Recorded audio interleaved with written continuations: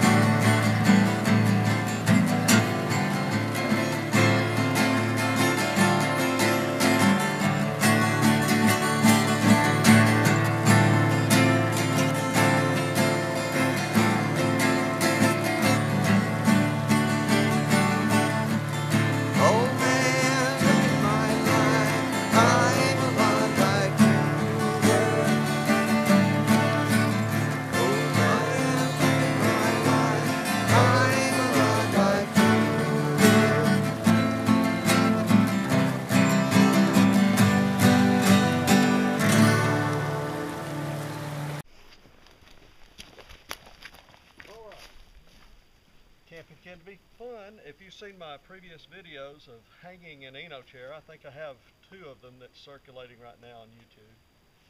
Uh, use a technique of uh, an ascender that you can slide up and down the rope to get the proper height of your Eno chair. The Eno chair, by the way, a compact, foldable, very comfortable hammock chair, basically is what it is. And I don't know whether you can see all the way to the top, but about 15 feet up, I found a low hanging branch. I have about a 9 millimeter kernmantle rope. It's not very heavy, it's fairly lightweight rope, but it has plenty of tensile strength to hold me and about any of my camping companions up. We don't have to worry about breaking this rope. Just simply tied a knot in the rope, toss it over the limb, and luckily I had a root section here at the base of the tree that has the limb, and I was able to anchor the chair to it. So you can look at some of my previous videos and find out the technique of actually hanging the chair. But this was uh, this worked out really well for an anchor system, having the uh, very strong root system that has been exposed since we're on a beach and the of a lake in the wake of the boats have kind of eroded away some sections, so it gives you a handy place and a very secure place to attach the other end of your rope. And also it'll be very easy to retrieve when we get ready to leave. I'll simply take the Eno chair off and pull the rope back down and take it with me.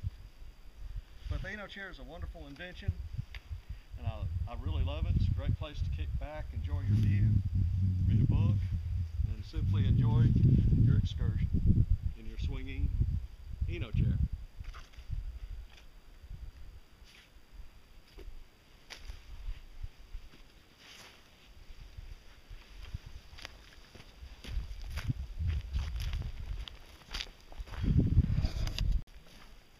Camping can be fun. If you've seen my previous videos of hanging an Eno chair, I think I have two of them that's circulating right now on YouTube. Uh, use a technique of uh, an ascender that you can slide up and down the rope to get the proper height of your Eno chair. The Eno chair, by the way, a compact, foldable, very comfortable hammock chair, basically is what it is. And I don't know whether you can see all the way to the top, but about 15 feet up, I found a low hanging branch. Now I have about a 9 millimeter kernmantle rope. It's Not very heavy, it's fairly lightweight rope, but it has plenty of tensile strength to hold me and about any of my camping companions up. We don't have to worry about breaking this rope. Just simply tied a knot in the rope, toss it over the limb, and luckily I had a root section here at the base of the tree that has the limb, and I was able to anchor the chair to it. So you can look at some of my previous videos and find out the technique of actually hanging the chair.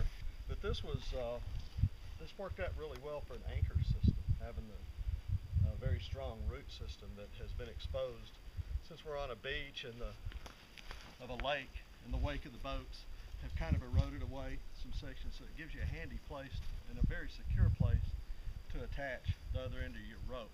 And also it'll be very easy to retrieve when we get ready to leave. I'll simply take the Eno chair off and pull the rope back down and take it with me. But the Eno chair is a wonderful invention and I, I really love it. It's a great place to kick back, enjoy your view, read a book, and simply enjoy your excursion in your swinging Eno chair.